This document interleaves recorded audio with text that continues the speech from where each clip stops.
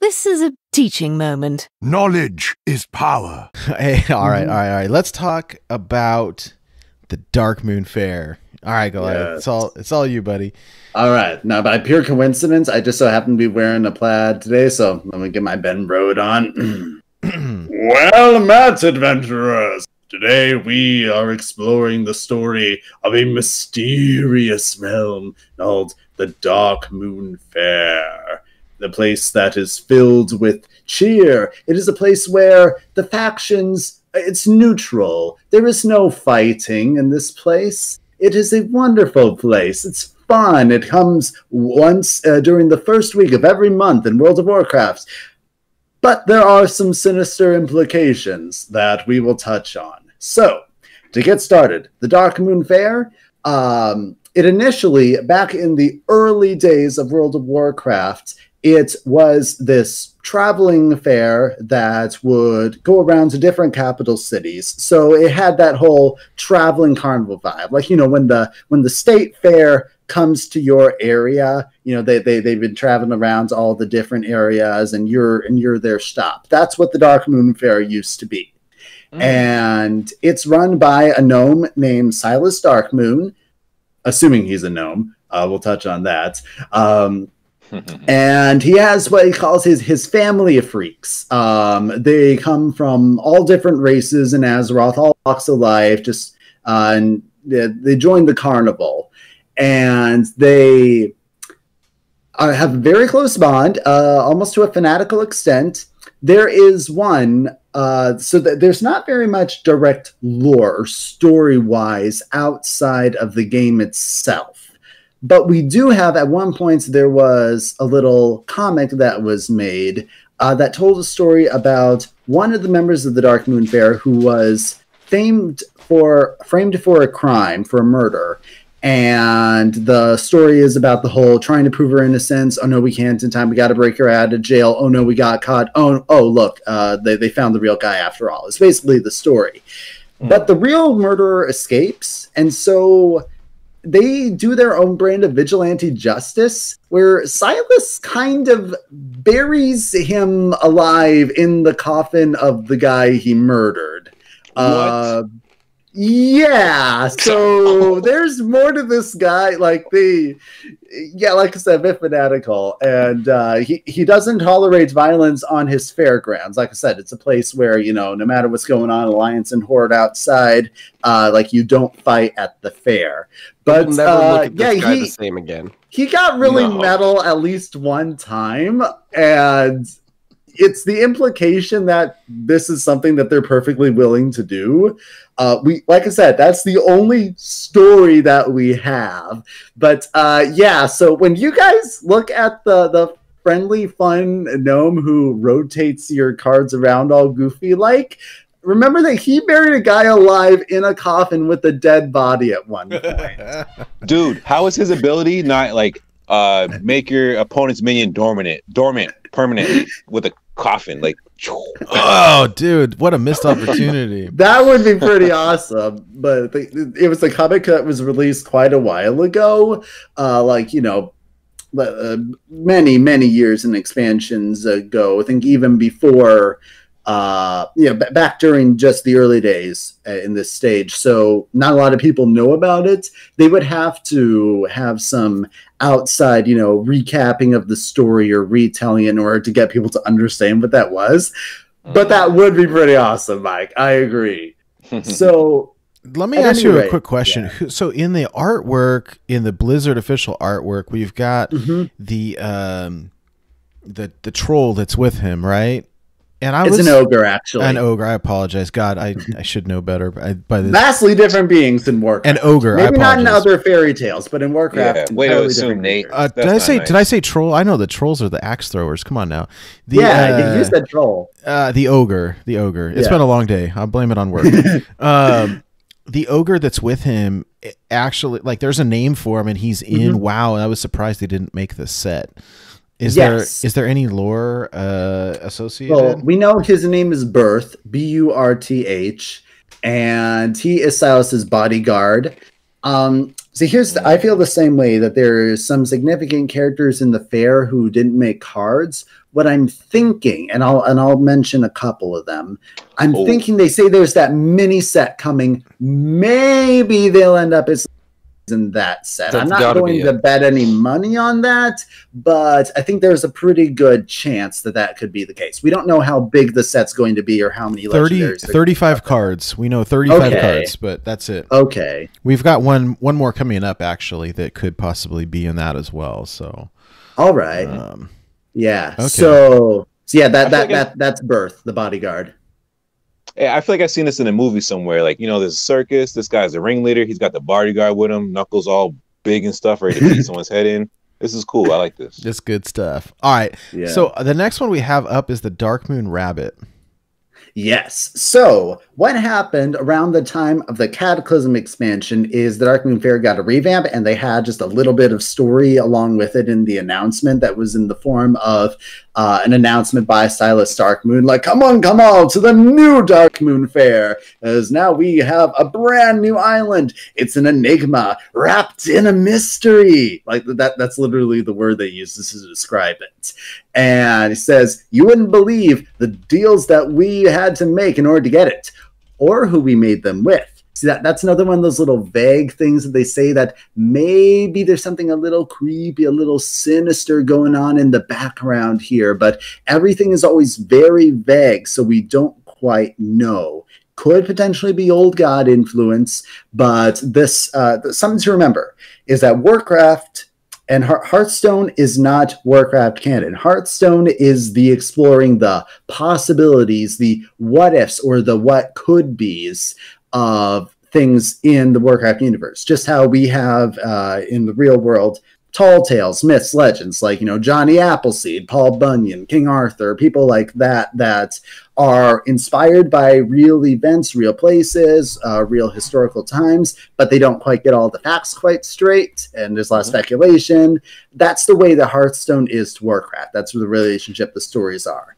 So, but this, the madness of the Darkmoon Faire is exploring what if all these vague things are actually true? And what would happen if they were out in the open in full force? So that's where the old gods come in for this set. But so for the Darkmoon Rabbit, this is uh, a world boss that you can find on the Darkmoon Island, hidden away in a little cave. And he looks, he's not a big boss or anything. He looks just like a little rabbit thing uh, that you could easily do with the one kill. Uh, but he is very tough. I believe he is inspired by uh, the a scene from the Monty Python Holy Grail. Oh, Um, oh they- yes. Yes, Yes. most that's that's the quote. So I don't know if you saw this, but the flavor text for this card is a quote from Monty Python and the Holy Grail. Yeah. So that's I can't. I, I have the most terrible Scottish accent, but if you can, if you can read it in your best Scottish accent, that's no ordinary rabbit. That's the most foul, cruel, and bad tempered rodent you've ever set eyes on. yes. So that's one of the, you know, sinister creatures out. The the fair itself only covers a certain portion of the island. The rest is very uh, dark woods that are filled with all sorts of creatures, um, including another creature uh, who is a world boss, the other world boss, who I hope is another one who will get made into a legendary in the mini set. A large white wolf named Moonfang, who, if you beat it, you get a cute little pup as a pet that you can uh, do, that you can have follow around with you. But uh, so, so you have the Darkmoon Island, and the only way that you can get to the Darkmoon Island is through special portals that the fair people will set up when the event is going on. We have no clue where it's located. It doesn't show up on the maps. So we don't even know if it's in the same plane of existence, technically speaking.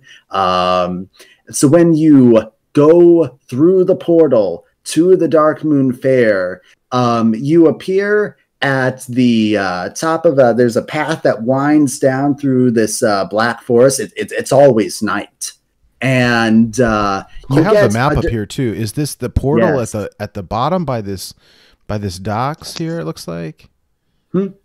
Um, let's. I can't see what you're showing right now. It looks like there's a long, windy path that goes through the fair and then into some woods.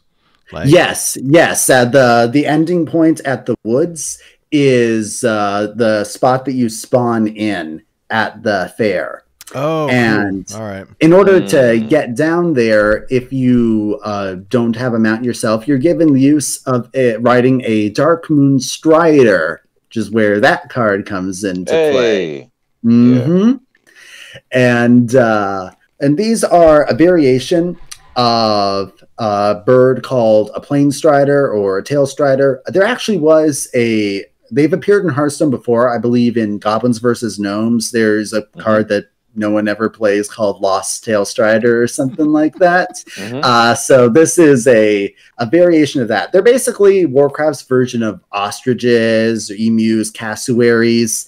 Um, Warcraft does this a lot, where they'll have uh, a slightly fantasized version of a real animal. Like they don't have crocodiles, they have crocolisks, which is one of the basic cards in Hearthstone. So I'm certain you've seen that one quite a bit. I've killed Uh, many, many, many of these.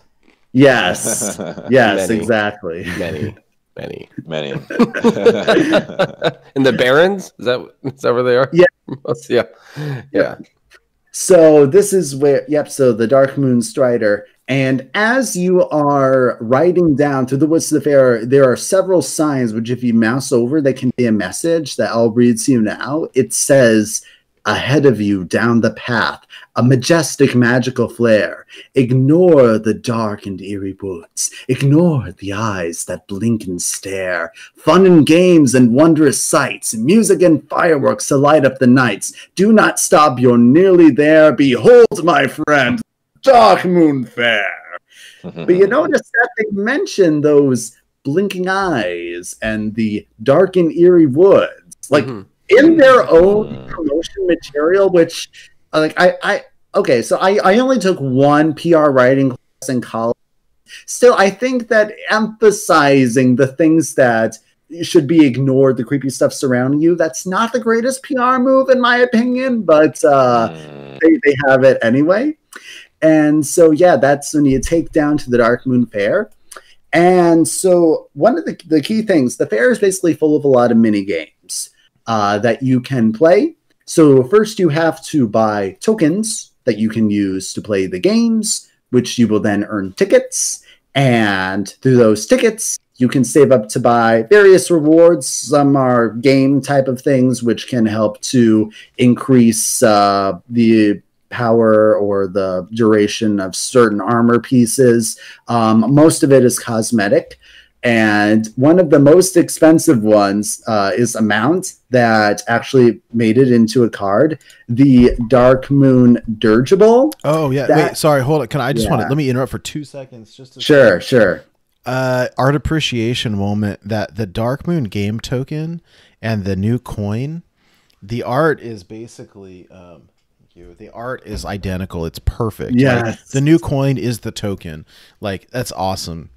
And then And I like, love it so much. and, and like the artwork from the Ticketmaster, like the ticket, it, it matches the ticket in the Dark Moon prize ticket. It's so great. Mhm. Um, That's really cool. they- That's right on point.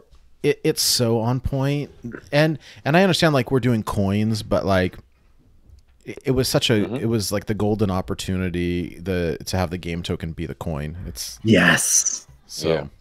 Yes, I, I was so excited when I saw that. I think I think that the special uh, Dark Moon coin is pretty cool too. That one doesn't have any to get at the end of the uh, of the progression path, but this uh, this token right here that is straight out of the game. it's I'm guessing clever. this one does turn gold if you have a full golden deck. it does Yeah. Yeah, I think that's the way that all the coins are going. Yeah. Well, I, yeah. I guess I'm gonna have to play it all golden deck for fun. I haven't. Well, I that, haven't that shouldn't be hard for any of you guys. No, no, right? no. Yeah, I, This is I, I Wednesday haven't played it in an all gold deck yet, so I want to huh. want to see how shiny it I don't have no gold decks. Hold up. Mm. it's a You gotta dangerous those habit guys. it's a dangerous have- habit it's, They have uh, the palatial estate, you know, up near uh, Portland in Canada. I'm just in New Hampshire, broke, chilling. ah, gotcha. You saw me, brown chicken, standard player, no gold. Oh my God. but all anyway, right, All right. all right. So we have the Dark Moon dirigible. This is so you get this as a mount, right? Yes, it costs a thousand Dark Moon token, which I should emphasize that uh, uh, sorry, Dark Moon tickets. You have to save up for many months. This this thing is only available. So all the mini games that we'll talk about are dailies. So you can do them once a day and get a couple tickets from them. There's occasionally a couple other ways that you can get some tickets, uh, mainly by uh, if you have this Dark Moon guidebook and you can randomly get drop things that you can turn in uh, for some extra tickets. One of them to Sayge. Um, but yeah, so and it's only available for the first week of every month. So you have to save up for quite a bit, a long time, in order to get a thousand tickets. Uh, so this thing is quite the Dark Moon prestige to show off. If you the if you have this, it shows. Yeah, I am a real devotee of playing the Darkmoon Faire. Sorry if you've said this already. When was the first appearance of the Darkmoon Faire? So the Darkmoon Faire itself, it, it was initially in the traveling circus style from uh, early on, the very beginning of the game, around the classic era, uh, Yeah. before any of the expansions came out. Around the Cataclysm expansion is the time when they got the Darkmoon Island.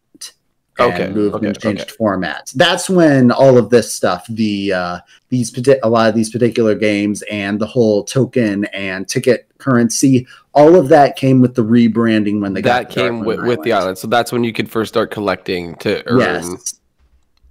Well, and I noticed there. that it got an art update, right? Like we had talked about this in the last one that, um, like with Scholomance Academy and uh, I don't know. It looks like this one as well. Like when I was looking up the art, I see some that are older, and then I see some that look updated. And so, was this something? Um, like, did this happen when they got the island, or is this just a you know as the game has updated over time? Probably the major thing was when they got the island, but every expansion, or I- I'd say almost like every two or three expansions, they get really big graphical overhauls that they put in things, and so they'll uh, reskin, they'll update the uh, appearances of a lot of old stuff. Not everything at once. There's actually a couple instances where, like Kalecgos, for example, uh, you know, the big blue dragon from uh, Rise of Shadows, in his human form in Warcraft, it still hasn't been updated. So it looks really weird. So he has this really low textured human face standing next to all of these high textured humans, and it looks really off. So they don't do everything at once, but they tend to do major overhauls for various different things every uh, two or three expansions or so. So I can't tell you exactly when these particular images got their overhauls, but it, it, it was likely around one of those times. Now, with the fair in general, you see like that eyeball is very prominent on Mhm. kind of the banner. Old Uh, God imagery. Yeah, I was gonna say. I mean, we're so. I, I guess I don't know if we touched on this ba- br- very briefly, but like we're skipping the old gods for now because the old gods. It's enough for a complete separate episode. But Let me put it this way: the old God story starts before Azeroth existed. We're talking the very beginning of reality in the Warcraft mythology. So, Mhm. yeah, there's a lot to cover for that, and we would we be here way too late uh, if we started doing that now. Is uh, but is there the influence of the old gods in the Dark Moon Fair, or Well, not so that's the much? thing. I mean, or do it's we? hinted at there are all these implications um all the like i said the the signs all the eyes going around um like you feel implicitly that there's something there but nothing is ever explicitly stated it's one of the few great mysteries that still exists in warcraft and it's one of those things where you feel torn because you like learning the answer to a mystery. Like, you know, when we read mystery stories, we, we like knowing what happens at the end. But you also want to have some element of mystery preserved so that it makes the world feel a lot bigger when there's all these things that you don't know.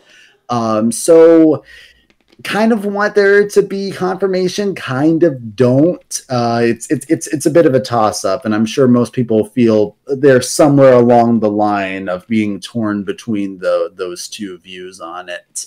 Um, I'll tell you, there, there is one thing that I didn't mention. Uh, there's a lot of ghosts on Darkmoon Island that you can only see when you're dead in the game. Like if you Oh, die what? to That's one of the mailboxes, you're walking around as a ghost. You can randomly come across other ghosts that will have uh, bits of vague, riddle-ish dialogue hinting at their past. All people who worked at the fair, people with various backgrounds, running away from problems. Running away from their old lives. Like there's this goblin who was trying to escape a debt. There's this one guy whose family tried to kill him when he was a kid and Silas took him in and they worked at the fair, but then something happened to them, probably in the dangerous woods outside the fair. Um, there's uh, there's like an undead cannibal out there. There's the, there's like yeah yeah her name is like Jenny Green.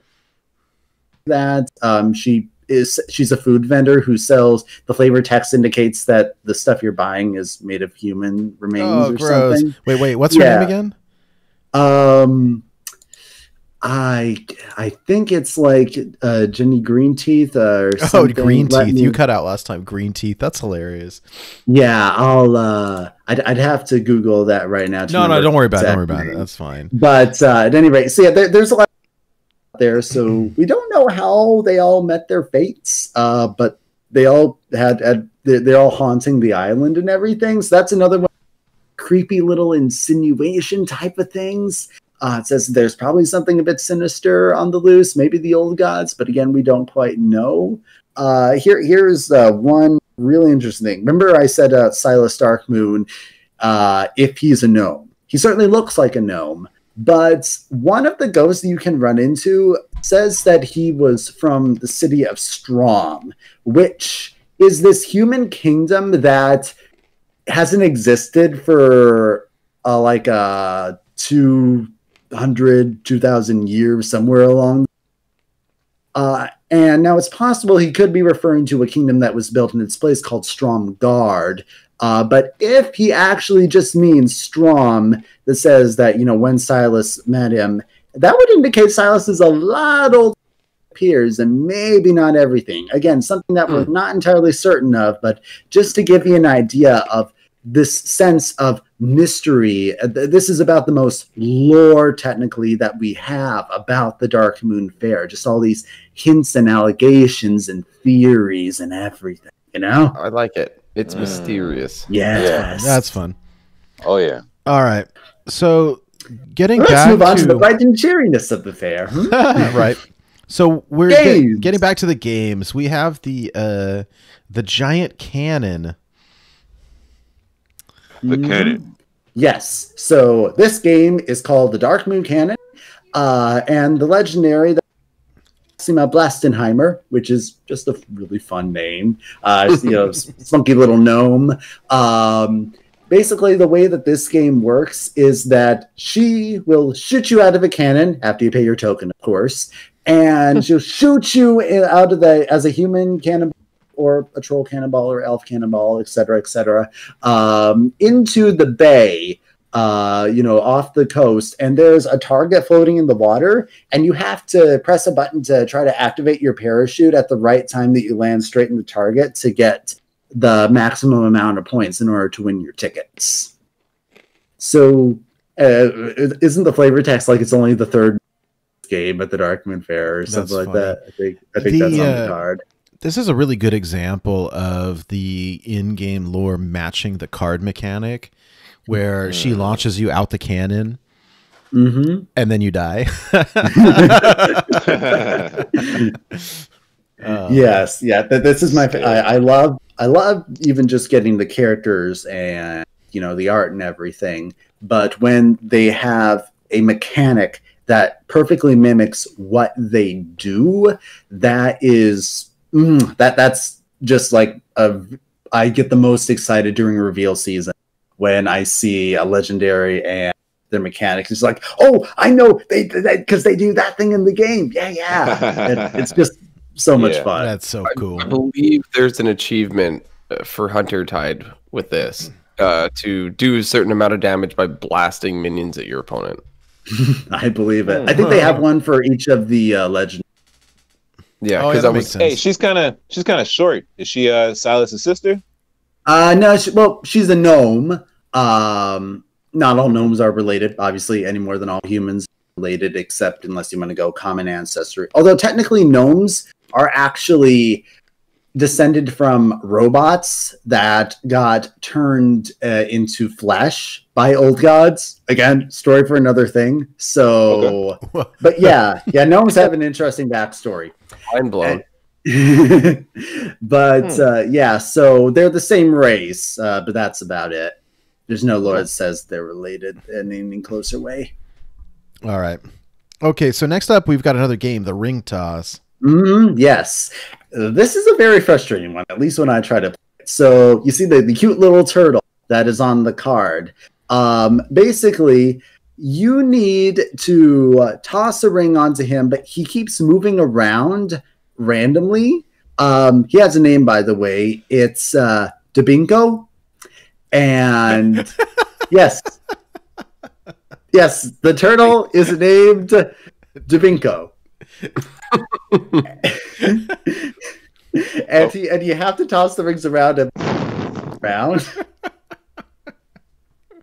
and, Wait, and uh, does, he, does he teleport or does he like, like no, he just he, he he'll like he'll walk slowly and like stay still for a little bit, and then just when you're uh, tossing it, like you, you click to toss it, and then just before it gets there, he'll suddenly turn around and walk in another direction, and it's really you, you have to like try to get down his pattern and be really good with your timing and stuff to anticipate where he's going to be so you can throw the ring when he's there so it lands on him when he gets there at the same time. Oh, it's like surprisingly difficult in a game. Yeah, you just gotta shoot where they're gonna be. It's like Call of Duty. We there. Basically, yeah, except with rings. I, I'm not very good at ring toss in real life either, so. um, but yes, that's that. That's that one right there, and then uh, we also have the shooting gallery, which is where Ringling's rifle comes in. Um, so this card is an old god corrupted version of the rifle. Um, Hmm. So that's not the way it appears in game, but it is this shooting gallery uh, run by a, a sand troll named Ringling, thus Ringling's rifle, and uh, it's it's a pellet gun. So if you were to actually try to do any damage with it in game, it would do absolutely nothing. Um, but so it's basically, you know, you have some uh, targets and you have the ones, and you want to shoot the one that lights up when it lights up. Uh, one of the easier mini games, opinion. And you know, you get so many points, and then you get your tickets if you are able to get those points. Is that one good to farm? Well, again, they're dailies. You can only do them a day. So you can't mm. really farm it any more than you could farm any of the others. well, it must if take you forever could, to I would like, recommend it. But so how do you get good at the turtle if you can only do it once a day for a week a- a month? Like well, no, you get you you can only complete the quest once Oh. a day. Oh. You can keep spending Oh. tokens I was to gonna say, is get there, unlimited tries on it. there like But once, Topinko once you simulator? get it, you only get the reward once a day. Rather like a real carnival. You know, we'll let you spend a bunch of money on this to get the prizes. but you only know? get the prize once. Yes. The rifle here looks uh it actually also if you see it on the screen, it looks like the same rifle they use in the screen where uh I mean it just it's like what like a musket or something. Yeah. Obviously, without the eye and teeth and everything. It's been game, corrupted by the old gods. Yes. It needs a muzzle on its muzzle, I believe the flavor says. That's pretty good. Should count as the corrupted card. It's already corrupted. All right. Uh, And then we've got the tonk.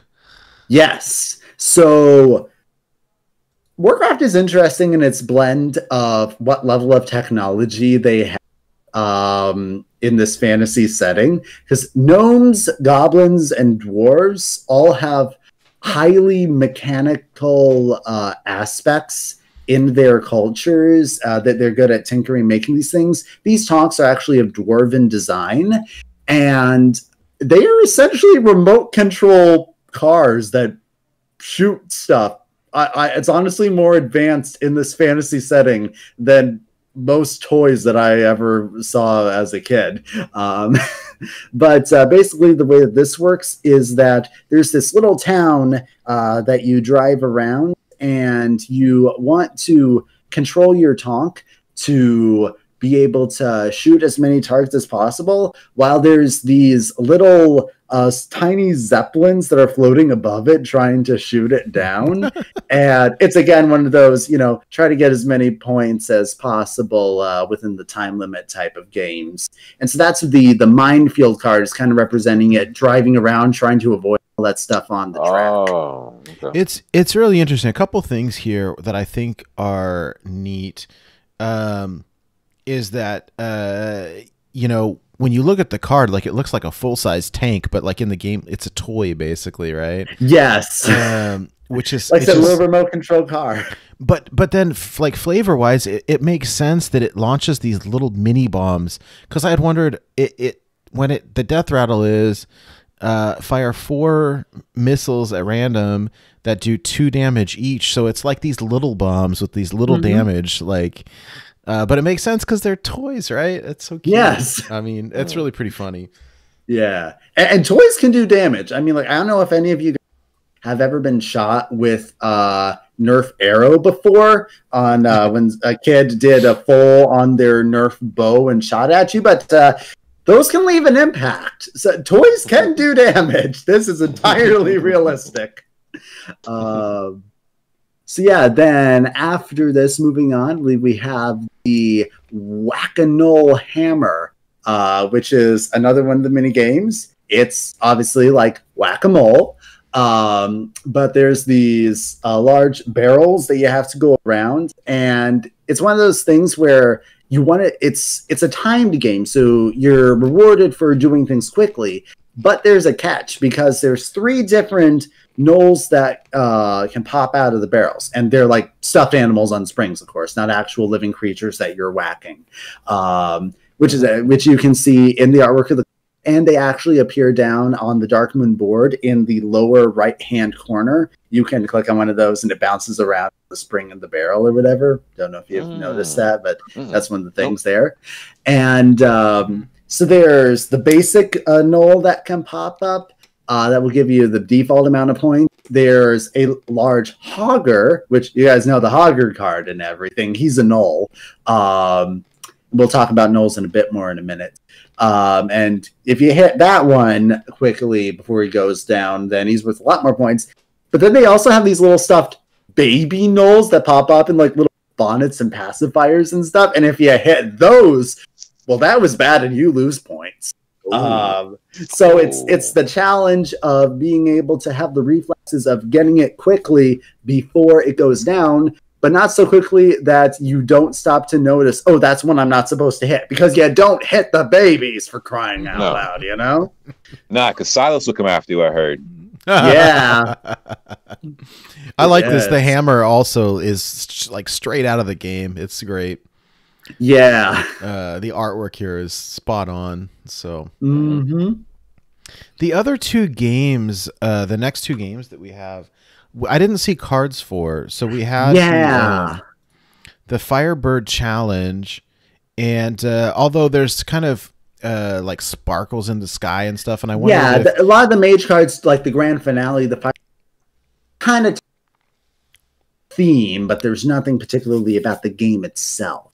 Yeah, we yet. see some of those kind of fireworks and rings of rings of fire in the sky and stuff. and then the Darkmoon races as well.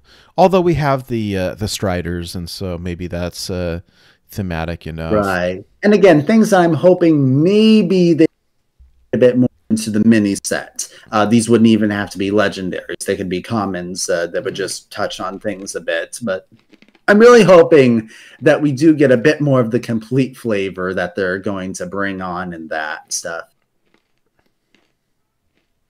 And so then those are all of the mini games which the tickets to get the prizes and stuff. But there's other features at the fair. Some things are just uh, fun to look at. Um, others are things. So for the roller coaster, and the carousel. Mhm. Um, these are actually things that uh, you can get like a little book of ride tickets, and if you hop on, it'll give you a buff that increases your experience and reputation. They, so basically, uh, while you have it, after you rode on one of these rides, uh, basically you get more rewards for doing the same stuff. Um, kind of like the XP bonuses in the battle pass, honestly. And I love this. When you after you do it, the buff is called, and I kid you not, Whee. That's amazing. It's Oh, that's like funny. I was having so much fun it. on the carousel that I uh, get more experience out of every pig that I kill or Oh, whatever. gosh, you that's know? funny. So I have I here the it. carousel up, and so we've got Revolve and the carousel Griffin. Mhm. Um, Oh my gosh, I did not get the pun on revolve till this exact second. what You is did the- No, until like I didn't realize I never looked at the carousel. Devolve, devolve, revolve. Yeah, yeah. Now that I know it's carousel tied in, like I didn't even think about that. Like I did. Oh, oh, yeah, yeah, yeah. That's the flavor is pretty is pretty spot on. yeah. Uh, Obviously, okay. that's an I old like god cards. This is cool. carousel, but And then And the then uh, here- the roller coaster here. There's a couple cards as well. Uh, The Mhm. cascading disaster and Yes. dera- and derailed coaster.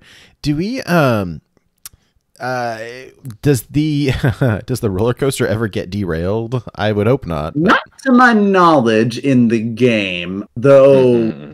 that I, I have seen a lot of jokes that you guys remember safety inspector card. Um there are a lot of jokes that i see at least the community make about you know oh watch out you know if this is goblin made then chances are that you can't trust it or whatever. But uh, goblins put getting something built quickly ahead of getting it built properly. That's kind of their thing. Um, Oh. so it would yeah so but as far as game wise it never goes off story wise i think it would be very likely that it wouldn't like this um, though no official lore exists on whether it does or not I will say that this uh the carousel or the uh, roller coaster is probably the most iconic part of the fair. Uh, which is interesting I because it's actually new to the fair they ah i see what you're doing there Ah. yeah Sorry, I didn't. It was actually only added like a year ago to the fair. oh so- interesting. Yeah, yeah. They, they always add, you know, they have their big patches, their big content release. They like to add, sometimes just add small things in between uh, or as a part of it alongside. So once they're like, yeah, so we're having the large patch and you're going to go to this undersea place and this place with a whole bunch of robot gnomes and uh, and we're adding a roller coaster, the Darkmoon Faire while we're at it. 'Cause, Uh, that, that that was like part of a BlizzCon announcement at one point. so, yeah, Right. so that, nice, nice. All right. Playing with the coaster on the game board, it's, it's fun. It is very yeah, fun. I I like this a lot better than some of the previous game boards that we've gotten, like more than the Ashes of Outland, for example. This just Mhm. feels more alive and interactive a game board than some of the other Mhm. ones that we've had They're- before. like a big like Un'Goro crater style effect that like happens on this game board. The the roller coaster Not that I will found, the coaster itself will travel around the various parts of the Yeah, game board, though, which, which is again Yeah. makes it feel alive, like I was saying. You know, like it pops out on the bottom right. I know that. yeah, By the Yeah, way, this this cascading disaster card, uh, I've had it played against me over the past week, and it's better than Mhm. I anticipated. I haven't seen it yet. It's it's a it's plus a plus. I believe it. uh, I don't. I think we probably rated it fairly low. Um, You said there wasn't Edit the sheets. Edit the sheets. right, but uh, um, but but yeah. Anyways, the uh, yeah, losing three minions for four mana was really tilting. Oh man, But uh, apparently, uh, they they did not survive the derailed roller coaster. All right, so we have the petting zoo here, mm-hmm. uh, and so there's a number of different creatures uh, that we see. And I was looking at it earlier because I had thought we had chatted right before the show, and I was thinking that the uh, the uh, ch- what is it the trampling rhino may have been one, but it turns out it was just old graphics, and it's actually some kind of uh, lizard instead. yeah, it's called the Thunder Lizard. Um, yeah, that the, the old graphics do sometimes make things look a bit too similar to each other. But uh, yeah, so this is basically it's uh, Menagerie Bazaar, and they spell it. Uh, they don't spell it bizarre as in like the normal where you go and buy something. They spell it bizarre as in strange uh, with the B I Z Z and uh, it's basically the whole "come and see all the exotic creatures from all over Azeroth" type of thing, uh, mm. like you know, real exotic zoo type of stuff. And they have the little petting zoo area, which is where the card gets its name from, and it's also where the "Don't feed the animals" card is set. Uh, with the hunter really went because hunter is all about beasts and everything so it made sense that they would really draw on the uh, menagerie flavor for a lot of their stuff. As well as the projectiles from the cannon and the guns. Yeah a lot of that stuff just lent itself to the hunter flavor really well. Yeah, no, that's really interesting, and I think mena- we saw menagerie as kind of a theme for this set, um, as far as uh, you know, just like a new archetype for the warrior. Yeah, and, I was going to ask you about Ringmaster Whatley. That's a that's a new mm. creation, right? Yes, he does not have any particular lore. Although I would love to see that character get a mod appear in the game, and That'd it's not cool. unheard of for them to take Hearthstone characters and add them to WoW. They did well, it they with, did it with uh, Sir Finley and League of Explorers. Uh, so I'd love to see him get added into the Darkmoon Faire because why not? He's pretty cool looking. Yeah, Okay, the next one up that we have is the uh, the death match. Uh, yeah, pavilion. Yeah, so this is what the shaman class is drawing a lot of its theme from. So this is a game. It's sort of basically it's an arena because, like I said, there's no fighting at the Darkmoon Faire. Yeah. Except in the deathmatch pavilion, where it's basically a gladiatory arena where you can mm-hmm. go and have a free for all PvP stuff if you want to. Um, mm-hmm. On certain, uh, around midnight or so, there will be a chest that appears that you can fight over. Um, and will get you some rewards if you're the one who comes out on top and no one kills you before you can actually open it. and hmm. okay.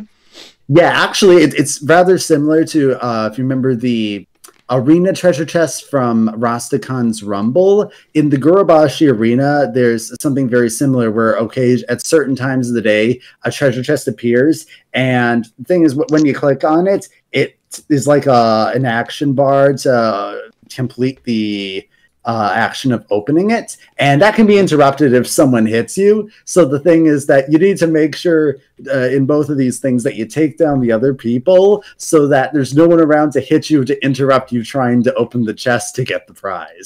Mm. And so they uh, they really went leaned into this.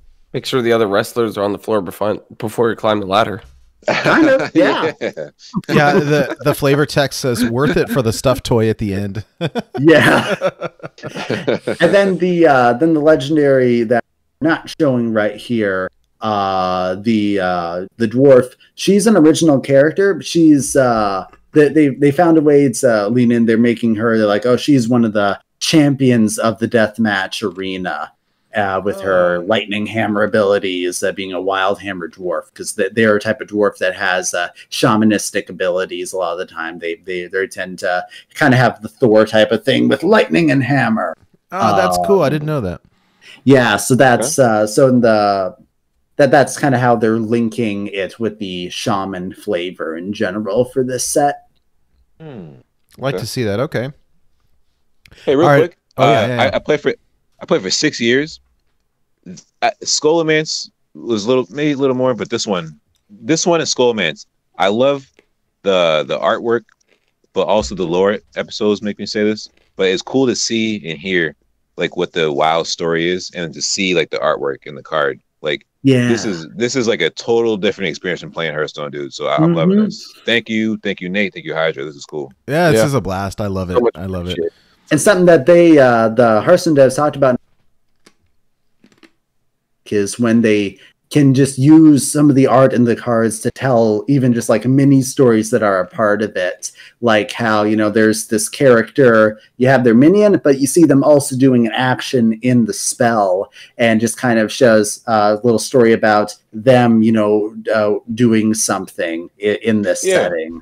And i really like that aspect of the hearthstone as well Yeah, and I think they just started that with Scholomance, where, and I, I saw the devs saying that as well, where with the legendary cards, they were trying to do other cards that showed that character in them doing something. Yeah. we saw that in Scholomance as well. Yeah, in this in this set also, and I think that's that's been pretty fun. yeah. Keep doing that. agreed I'm really interested in the next one because I think that this is a more of a, a major character here. hmm Okay, okay. Uh, so we have Sayge. Seer of Darkmoon. So Sayge is a gnoll here.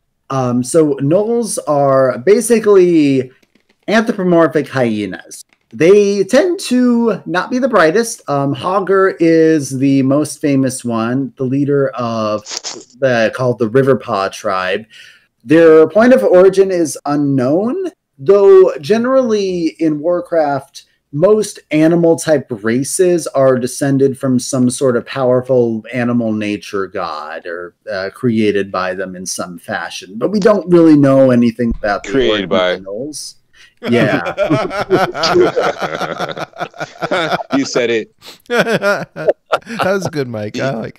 You got to go take a shot. That's the rule in the show. If you say created by, take a shot. I'm just kidding. uh, I don't have any booze in that. Um, but uh, yeah, so they are uh, actually one of the low level races that if you end up fighting. They are big problems with uh, uh, against Stormwind. Um, but Sayge is unique, and he is pretty much the only Gnoll who is style to you. And so he has this little fortune telling tent, uh, kind of in a bit of a back corner in the fair. And if you go to him, there's this uh, fun little thing where uh, he'll he'll do this completely for free. You don't have to pay any tokens or anything. Um, where he'll ask you some questions and you can choose some dialogue. Um, and then depending on how you answered it, you'll get a unique buff um, that for a little while that increases one stat or another. And so it's like, hmm, I can you your future and based off of the way you answer my questions this is who you are and that affects it and so that's what's affecting his uh, flavor right here where he's all about you know uncovering the secrets of you know what something really is so for every secret that you trigger he's getting more cards That's clever. I like that. That's a good uh, Mm. good ability there. Mhm. Uncovering the secrets. So They did great on the artwork for this, including the red crystal ball. yeah So Mhm. I Big- thought that was an apple. In the World of Warcraft No. picture, thought that was an apple. oh no no that that's Sayge's crystal ball right there. Oh, what, what's a carnival so fortune goofy. teller without one Well, I was looking. No, I was looking behind him. I thought that blue orb with the crystal, you know, with the mist. I thought that was something, but never mind. Ah, I see. Yeah, no, that's just the lighting behind him because they Yeah, they love- uh, they made him look uh, tint in this uh, art than Hmm. he tends to appear in game with the lighting. Got you. very cool. Okay, well, what would be a fair with no live music, right? Yeah, Uh, Oh, is it time? Elite Tauren Chieftain, uh, which has been a card before. Uh, which Mhm, I, mhm. I maybe you guys can tell me this exactly. How did you originally get that card? Because now it's Hall of Fame, Druid. It's a BlizzCon thing. Oh, okay. Just why they made it where it wasn't, you know, a super powerful ability. But okay, that that makes sense. But yeah, I believe it was only golden was BlizzCon, and you could just craft the the regular one. As as far as I remember. Yeah, yeah, yeah. So Elite, the golden version of Elite Tauren Chieftain can only be obtained as a promotion from purchasing uh, either the ticket or the virtual ticket for BlizzCon 2013. A little late for that. Uh, yeah, you can get one. You can get one uh, on eBay for like seven hundred dollars. My man said eBay. Yo, no, you did not. Stop Yeah, it. no, I'm Is not the joking. I'm- test of your Blingtron Stop. whaliness. I it's and the golden one is uncraftable. cannot be crafted, cannot be disenchanted. the uh, regular version of Elite Tauren Chieftain can only be obtained through crafting. Hmm. And it's not a good card. I am guilty, it ha- but it has very, very awesome entrance animation. Oh, it Yeah. does. It's I can't even remember what all its cards that because it, it gives you like a random card. It's none of them are, Mhm. are good. Yes. Uh, Well, no, they're thing. they're not good, but they certainly rock. And so, uh, hey, at least now we have a version of the character regular. You don't have to on an old ticket to get um, in golden. I So, love that he's uh, he's playing the drums with this giant hammer. Yes, that's Yeah. Chief Thunderskins, the drummer of the band. Um, Mhm. but often serves as the mascot because he is a Tauren and it's called Elite Tauren Chieftain. So here's the thing Elite Tauren Chieftain is a real band made of Blizzard employees. And they have a virtual version of themselves in the Darkmoon Faire. Stop and it. they even made it as a hero in Heroes of the Storm. Elite Tauren That's Chieftain. Like he, he That's has true. moves Mhm. like Power Slide and Mosh Pit Mhm. and stuff like that. So the cards that you get that you were talking about from that original card, uh, there's through the Rogues Do It, uh, Power of the Horde, and I Am Murloc. Those are the names of songs they've written. That's right. Yeah, yeah. Mm. That's good flavor. I I do have a question It's a though. pure flavor card. That that one. Uh, so the stage here, it looks like the name. It looks like L O O E T C. Is that something different, or it looks like a lightning bolt? I don't know. Do you see what I'm talking? Is talking that a about? nine? Hmm? I don't know. On Are the you talking about yeah. the original one or the new? Well, the one at the Darkmoon Faire has got them on a stage, and there's like a banner with the band name on it, and it doesn't say ETC. It looks like Is it L ninety? is it? Oh, is it, it's level ninety? That's got to be L ninety ETC. level ninety ETC. Right. Oh, okay. That's what it is. That's what I don't it play. I'm just guessing. I No, don't no, know. no, no, no. Alright. You've got to be right because I know with some of these expansions, my brother used to play a lot, and I remember some of the expansions like if you you know came in with this expansion, it would level your character up, right? To a Mhm. Oh. so this is level ninety ETC. That's pretty funny, actually. God, It's like What a- bragging. I'm what a- so elite, look at my level type of thing. You know? what a what a silly. That's an inside joke for sure. Okay. Yeah. So uh, the members of the band, it looks like an orc and a troll and the uh, the Tauren and what is that? A human or an elf in the middle and a dwarf maybe. So it's a Oh, whole yeah. different group of uh, of characters here. yeah, each of them representing uh, the actual Blizzard employee that makes the band. That's pretty funny. Mm-hmm. Uh, speaking of which, there is an OTK deck with ETC. I don't know how good it is, uh, but it exists, and so uh, we'll have to try that at some point.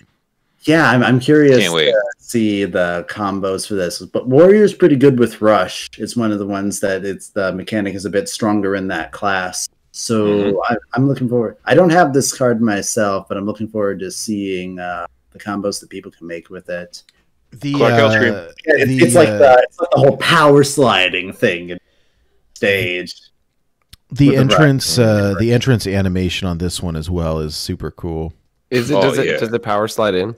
Uh, it, it- does something I don't recall, but it was I saw it once and I was like, oh, whoa, Yeah, it's like a lot of like energy, adrenaline. It shows the letters ETC. It's like it's one of the best like animations I've seen in this game. I was like, damn, for a one four, holy crap!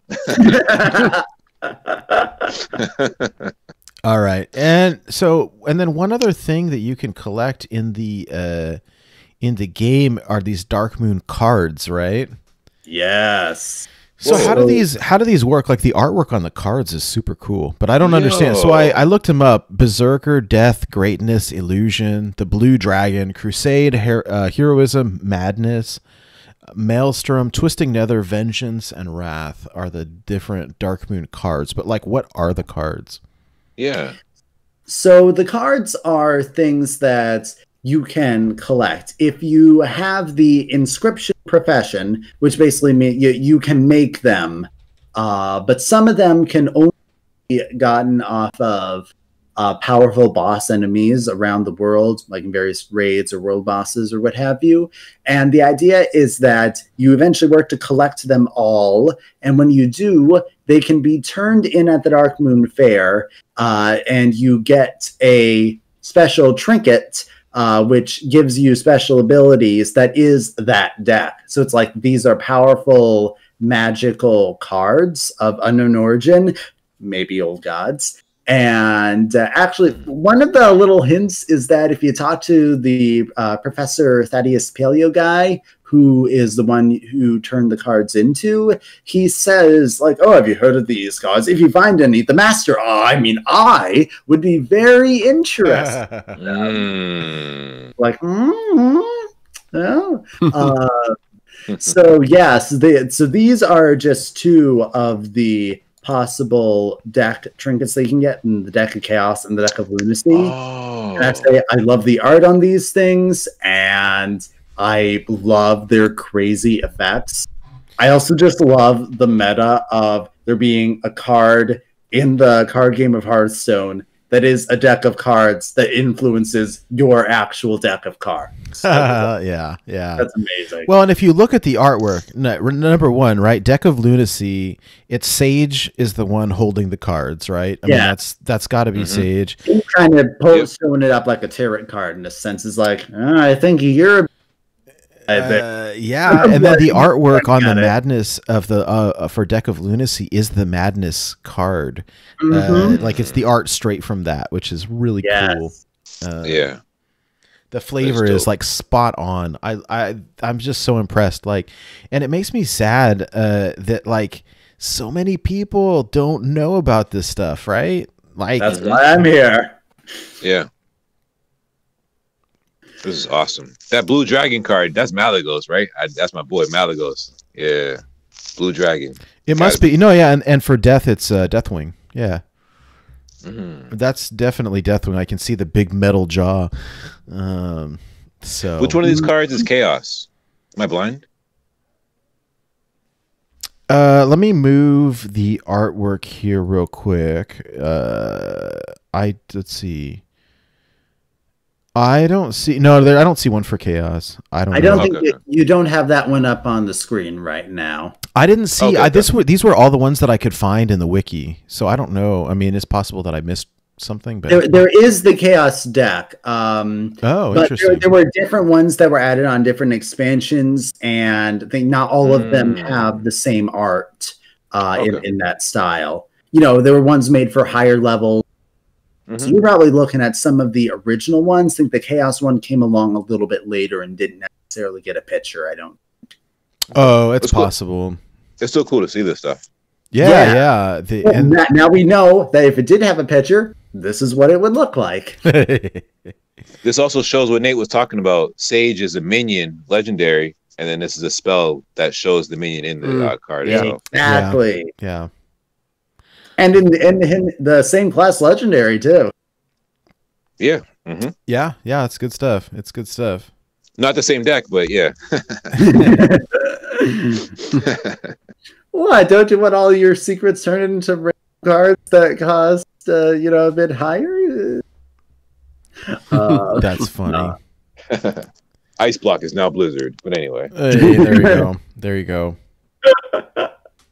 Uh, have has has anyone played these yet? I've I've played Deck of Chaos. Uh, my experience with I've only played it once or twice. I feel like it's slow, but it, it's pretty powerful. I mean, playing a three mana nine nine Void Daddy is pretty dope, but it, it but it feels kind of slow to me. I don't think that uh, unfortunately it's probably as good as we hyped it up to be. Uh, Deck of Lunacy, I have not played at all. Have you guys, Mike? I I- saw you. Yeah, I played it um one time. It was very beneficial for me, and the other time it wasn't. So it's, to- it, it, it's to- total. You're at a meme 50-50 right now. Yeah, if you're looking to hang out and have some fun with the guys, play it. If, if you're trying to get like you know your friend quest in, sure, but don't play it on ladder for ranks. Like yeah, yeah. All right. So then, yeah, so that's that's about all of the uh, basic things we have for uh, connections with the Darkmoon Faire. Um, like I said, I'm looking forward to seeing what they come out with in the mini set. But there's not quite as many cards to feature necessarily for this because the set is flavor wise split in two. You have uh, more old god leany things, you have fair type things, and of course, there's lots of fair type things that they just created for the Hearthstone that don't appear in the game, but these are pretty much all the relevant ones that do. That being said, this is one of those things where I love when Hearthstone expands on the flavor of something because technically, story wise, mm-hmm. things are always much larger than they are in the game. You know, like in World of Warcraft, you have the huge capital city that is really about the size of a real life city block or something. Story wise, it's much bigger than that, but they're limited what they can the game. So what I really like in Hearthstone with cards like this, like we have, you know, like the the game master and you know, like the the knife salesman or all those different things that you can imagine. Okay, they might not actually be in the game, but you can imagine that they are, and it makes the whole thing seem bigger in that sense. That's yeah, another thing yeah. I just love about Hearthstone, expanding like this. Um, but then we also have some cards about that are some of the legendaries in this set that don't fit into either of those camps. They're not super old gaudy, and they're not super Darkmoon Faire. Um, some of them, but not necessarily certain what they're doing. But they're characters that it's great to have in. Um, Uh, yeah. So first up, I've got Grand Grand Empress Shek'zara. This is the rogue legendary. Right. So this is one that actually does have old god connection um, because she is the empress of an insectoid race called the Mantid, obviously inspired by a praying mantis by their design. Uh, there's lots of different insect type races that serve the old gods, and they all look like different kinds of bugs. Uh, but essentially, her thing is that she is the Empress, her she was just an egg when uh, you first encounter her in the game during raid where you have to uh, kill the previous Empress who has essentially been possessed and is causing a lot of problems. That's for the old gods uh, episode, basically. But essentially, is that um, recently in the Battle for Azeroth expansion, she uh, pledged her loyalty to N'Zoth as the new Empress and you have to kill her as a world boss and fight a lot of her uh, minions as she's sending these swarms of you know giant uh, you know human sized flying insects. And, and they tend to use they, they use amber a lot. So like they'll trap you in amber either the liquid or freezing you in a block of it. Uh, and it's one of those things that if you think it was actually happening in real life absolutely terrifying like like horror movie type stuff if they actually looked realistic you know giant Frank Mantis is coming to get you but uh, that's essentially what she is right there wow. That's funny. Well, no, that makes sense that you see the little insects in the background of her card and the eyeball in the background, which indicates the old god influence. That's actually pretty. Uh, some just. All right. Uh, next up, we we've got uh, Tenwu of the Red Smoke. yeah so this is a character um, without much lore personal wise in uh, in Warcraft. He is a character who is uh, he's called a Shado-Pan. Basically, uh, in Pandaria, which I really want there to be a Pandaria Hearthstone expansion because there's just so much amazing stuff there. Um, but he's he's what's called a Shado-Pan. They're basically panda panda ninjas. Um, Mhm. They're the like like rogue. Uh, they they have all the stealth stuff. Honestly, they they would fit amazing. Oh, actually, there is. There's that Shado-Pan card from the Grand Tournaments as the the combo ability. Mm-hmm. Um, and so they are like masters of stealth, and they help to fight the Mantid and other threats to the Pandaren. And uh, yeah, they they have like this cool monastery that they train in way up in the mountains, and they're like they're most Pandaren are very laid back and fun living. Uh, the Shado-Pan tend to be a bit more the I wouldn't say emo, but they're the very serious ones about you know we have to take seriously and no nonsense and that type of stuff. Mhm. Uh, Tenwu of the Red Smoke Mm. is an anomaly among the Shado-Pan and the Pandaren. Uh, his few dialogue things, he's rather full of himself. He's like, "I'm so handsome. I'm so talented. You're interested in me, aren't you?" Uh, yeah, like that. That like if you keep clicking on him, he'll say that sort of thing. Um, so like he's uh, as a character, he's pretty much just uh, someone who's there. You might see him in the background a few times. You might have a quest or two associated with him. Not a major lore character, but really cool to see uh, individuals like this still get a little focus on them in the game when you and they have Hearthstone cards and you remember them when you might have. Yeah.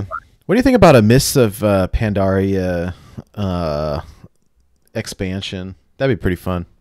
Yeah, well, I think it's one of those cases where you'd want to focus in on a specific region. Because remember, for the Ashes of Outland, that was just all over the place, covering an entire. Um, and like the different classes were focusing on different regions, so it was very just a little bit of this, a little bit of that, and they used up all of Outlands in that. I, I understand why they did it, but I think for Pandaria, you wouldn't want to use up all of Pandaria. You just want to focus on the richness of one or two particular zones. I see. I mean, how many times have we gone to Northrend? They have the Grand Tournament, the Descent of Dragons, the Frozen Throne. Uh, all of those take place on the same continent, but they're in very different didn't know that. locations on that continent. Okay. Oh, that's really interesting. Well, I, I just like I love the flavor for for the rogue class of the Shado-Pan. Like, yes, that would be super cool. Uh, just Mm-hmm. saying. they would make a great uh, additional rogue skin. Uh, just saying. I would like that a lot. All right, all right. Let's move on. So we have the Paladin legendary of uh, Yrel. Yep. Okay, so this one is going to get slightly complicated. That's a huge lollipop. Look at that. wow, that's a gigantic grape lollipop. My goodness. sorry, sorry, my, my bad. Just came Draenei back from paladins from, from the very dentist. large crystal hammer. She's at the fair, right? That's funny. oh man. That was the prize. One one a big Yeah. lollipop. That takes you effort that that you never finish and end up just throwing away most of it. I think with candy canes most years, I can never finish a candy cane. I, I tend to I tend to accidentally whittle it down to a little point and just stab my mouth, and that's it. Uh, that came out of nowhere. But at any rate, uh, so Yrel is actually from an alternate reality because there was this expansion called Warlords of Draenor, which got really complicated. Where basically Garrosh Hellscream, you know, the, the warrior here, he used a bronze dragon to mm-hmm. go back in time and created an alternate timeline on his world before it became Outlands, uh, back before everything got corrupted. And he decided to invade our reality through the dark portal. And it's one of those things that it's a time travel thing you don't want to think too hard about. Otherwise, you get a headache. But basically, the Yrel is from an alternate reality where we go and uh, you meet her, and she's very, uh, she's just a naive little uh, priestess who has been captured. She's very young, and she has, you know, she eventually grows in confidence, power, and ends up becoming her people as a strong paladin and exarch, uh, which is a special rank that Draenei have in their societies. And then then we the expansion ends and we go back to Azeroth and none of that really comes into play with the story again because she, she's not in our world. She's back there. But there was was there is this one thing where uh briefly in order to recruit um some orcs from that time period uh in order to come join the horde there uh ended up going back to the world, but jumping many years into the future somehow. And uh, she kind of went a little fanatical and crazy potentially, where she's kind of going around like uh, Grand Inquisition style, uh, convert or die type of stuff. And I don't necessarily like what they decide to do with her character off screen. Maybe they'll revisit it in the and fix things up. Maybe they won't. I don't know, but uh, that's basically who this character is. Nothing to do with the Darkmoon Faire. Where do, where do we do like even this reality? But in game now? Can you still find her? well, not in the current story. If, No. if you play through that expansion's content, you can be with Mhm. her and everything. You can see But her. she's she she no longer exists in the game currently. She's in an entirely separate timeline in than the main game story. Like I I said, like that. yeah. Huh. And I can the appreciate it. main thing that I can say is why they put her in here is where else would they really find? They, there's not really an expansion that they could fit her in properly necessarily because I don't see why they would set one in the alternate timeline, especially since it wasn't a very popular expansion. They they had a bit of a content drought a lot. It's kind of has a bit of an infamous reputation among WoW players. But uh, I think that it's similar to the theme that Paladin had in Whispers of the Old Gods, where it's like, oh, see, the old gods are rising, powerful paladins, you know, like the stand against darkness and all those types of Mm. cards. Mhm. So I think for these two paladin legendaries, and we'll get into the next one, um, that is basically like let's pick two of the strongest uh, warriors of the combat. Oh god, sorry, chat. Schmoopy. Yes, say it. Yeah, She's say it. playing that game at the fair where you swing the giant hammer to hit the bell. You know, let's go with that. I don't know if there's flavor text that says anything related to that, but yeah, let's say she's here to win Yo. prizes and kick old gods, and she's already won all the prizes. oh my goodness. my goodness. Let's That's- go Yo, with that. Goliath. Yo, Goliath. Um, so like Memonarch said, she exists, but not really. She's like my ex-girlfriend. So here's the thing. I watch I watch uh I watch the Flash and uh, often, very often the Flash will time jump. So when you explain the time jump to me, it doesn't feel that strange. I totally understand what you're saying. Yes, I watch we it too. It's we- really good. We, we, yeah. Oh, so you guys get it? We, we operate here. She exists here. Garrosh sidestep, pull her here.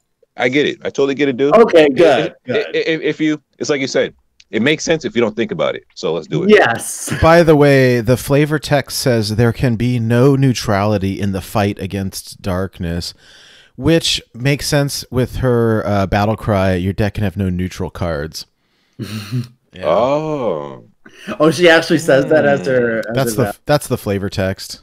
Oh, right. Yeah. Yeah, oh, I thought yeah. you were saying that her voice line, she goes on, Your deck can have would be the most meta voice line I'd heard on a card, but yeah. no, her voice line is like Nate said, hammer swing, ding. Oh, Ding.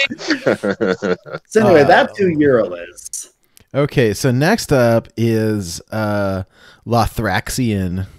Yeah, so he is a really interesting character.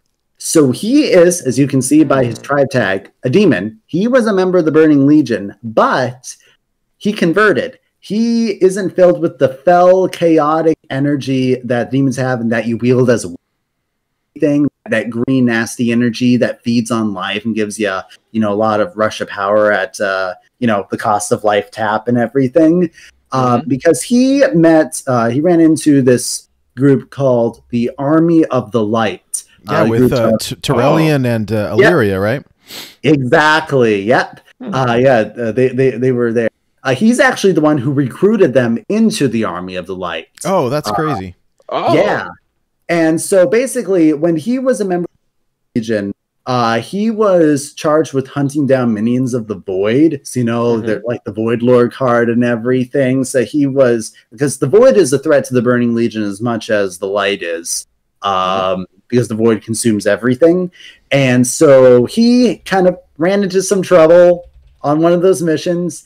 And then he was kind of rescued and purified, infused with the light. All the nasty foul stuff was flushed out of him.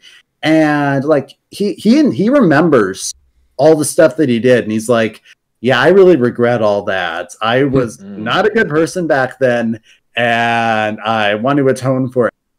So he he is uh, he's basically a dreadlord. You know, like like he's the same species of demon as Mal'Ganis is, but he fights for the light. a paladin like him. paladin Okay, so- demon. like when I first saw this card, I knew there was lore.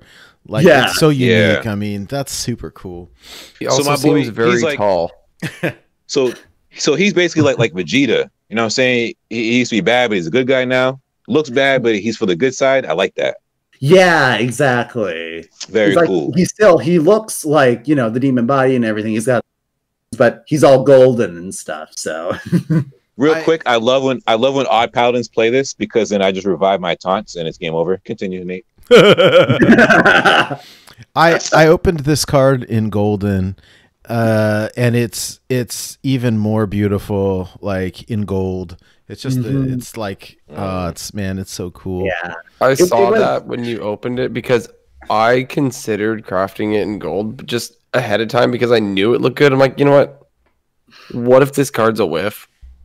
I'm not gonna do it. And then it's like you pop it open. I'm like, oh, I should have did it just because it's gonna be so shiny. Now Nate's got one and I don't have it. it's I very got it as my free one with the bundle. That voice. oh nice nice. It uh, is quite Nate has shiny. one. Golden. Jimmy has a Super Nintendo and a Sega Genesis. Oh my god, you guys. All right, all right, I all love right. The it. next one up, I almost missed, and I was like, "Hey, Goliath, what do you think about this?" And uh, this is this one's a little bit of a stretch, but uh, we have a Scarlet Crusader here, um, who is What? actually who is actually a vendor at the Darkmoon Faire, right? I mean, Yes. I, I sincerely doubt that there's any lore, but uh, Six years later, let's hear it. So yeah, yeah, she's actually added just a couple years ago uh, uh, in the Legion expansion. They just decided to add her in there as a vendor. So they, here's the interesting thing. So the Scarlet Crusade, uh, I believe that I touched on them back in the Scholomance episode. yeah, Um, you know, kind of radical group that uh, was corrupted by a dreadlord. Uh, but they were very dedicated to completely wiping out all the undead and everything. They did. They didn't know they were corrupted by a dreadlord. They think they're the good guys. Um, so basically, you can only talk. You can only get things from this vendor if you're wearing a Scarlet Crusade tabard. Um, Oh, that's if you funny. try to talk to her without it, she'll say, You're the reason that the Scarlet Crusade fell, and I have to try to fundraise to get us going again by selling this stuff at the fair. Um, if you have the tabard, she'll sell you the stuff. And if you're a Forsaken, who, if you're playing an undead and wearing the tabard, she'll say that I'm disgusted with you. How dare you wear that tabard? You are a loving abomination. And then you basically say, look, you need money. Just shove it and let me give you my money so I can buy things. Like the, the those three different options, the three different unique dialogues you can get from this vendor. that's pretty That's funny. awesome. Wow, Yeah. that's good stuff. Take my dark moon coins, you witch. All right. Well, I think that's pretty much it as far as characters and uh, cards from Darkmoon Faire. I swear I thought there was something about the effigy, the uh, the Darkmoon statue.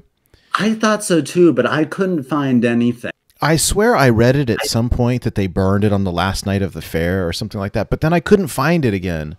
And I couldn't find any screenshots either, and so I don't know. There, It there's looks some. like something they would put in, but I haven't. And the fair's not going on right now, so I can't live game Yeah, find the Hmm. screenshots. So maybe it's there, but we don't think so right now.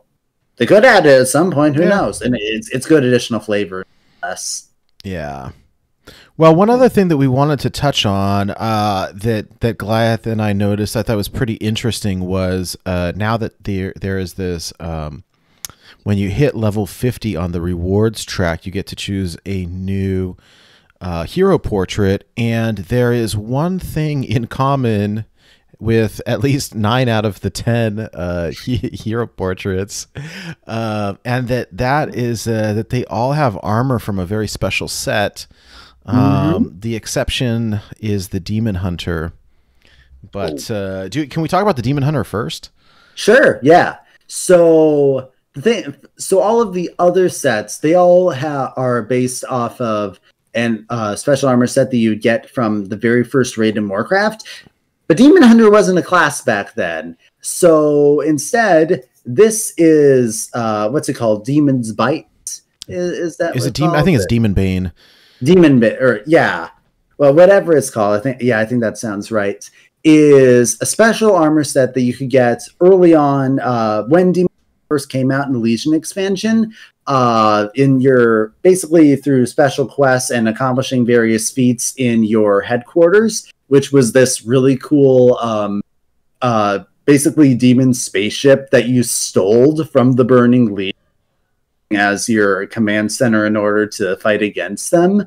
Um, basically, it's uh, you could get this armor set, and it's one of those things that if you get the different pieces, like the more pieces you have of the set, the stronger it becomes. And that's something that all of these have in common. They're uh, well, the others are what we call tier sets, uh, but this is about the closest thing that they could come to it for Demon Hunter, since Demon Hunter is still new in the grand scheme of things and doesn't have all of those uh, past different armor sets they can draw on. But I think it's pretty fitting that they grabbed something that was basically one of the first powerful sets of armor you could get for the Demon Hunter class when it came out in the game. And they dressed Illidan in it. Yep. Well, and that's the other thing I noticed is that they matched uh, the name of all of these heroes. Like this one is Yeah. Demon Bane Illidan. They Mhm. named it after the armor, and so they did that with the other nine heroes as well. And so when you look at the name of the armor, uh, it, it matches up with the name of the uh, the uh, the sorry the the name of the the new hero portrait matches up the name of the armor. Exactly. so first up, I have the Druid, um, which is uh, let's see. I don't have the article pulled up in front of me though. I should should probably get it here, but I, su- I suppose it's uh, Cenarian something or other. Yeah. Yeah, so uh now not not all of these armor sets are going to have any individual lore attached to them. Cenarian uh, has a where the Cenarian Circle is named after Cenarius, uh, who was Malfurion's teacher and essentially the uh, nature demigod who taught Druidism to mortal races in the first place, mainly Night Elves and Tauren. Um, though other races eventually kind of joined it a little bit. But it's basically this faction neutral circle of druids um, that work to, you know, help keep the balance of nature and all that stuff. And Malfurion is the head honcho of it and everything. So that's kind of uh, what that one is named after. But uh, that's probably the, the most direct lore that we're going to get out of any of these others. Uh, what they do all have in common is that they are from the first raid that I mentioned uh, in the history of Warcraft, which was called the Molten Core, which is where you fight a minion uh, that I'm sure all of you guys are familiar with, legendary. Uh, he screams "Die, insect!" a lot. uh, Ragnaros was the very first uh, end uh, end raid boss in the his in Warcraft, and in the raid, as you're trying to get to him, then you would collect these tier sets, these various pieces that would give you powers. Uh, the more that you had, and so that was something that it was not only something that people really wanted because it was powerful, uh, but you know it was also you, you had to get the rare drops. Even if you killed the right boss that dropped it, it wasn't at all guaranteed. Especially back in the days of Classic, long before I played it, that you would ever actually get the drop. So if you had a full set of these things, that was a lot of prestige that you had. Like I have the whole thing. This is the most powerful the game and I grinded all this out. I had skills with my guild to be able to down these hard bosses enough for me to finally get the armor. So that's why I think it's so cool that these are the skins that these characters have for getting to the very end, which Mhm. I might add. So you get this at level 50, correct? Correct. Yeah. hmm That was the level cap back in Classic. So you had to be level Mm. 50 in order to go into the Molten Core raid and to fight Ragnaros and to collect all of this armor. So it just matches so perfectly, I think. and didn't you say you you had the the Felheart armor for your warlock or I, I something? have like a that? couple of them. Yes. Now you can just go into it because it's years old content. And so you can just go around in one shot every and so all by yourself. Um, and try to collect it for uh, transmog purposes, just for the sake of making your character look cool and dressing up. Nowhere near the same prestige, like no no level of prestige it has now. It's just cool looking stuff uh, compared to what it was back then. But hey, You some of it always- is really cool looking stuff that you can dress your characters in. You can always play classic.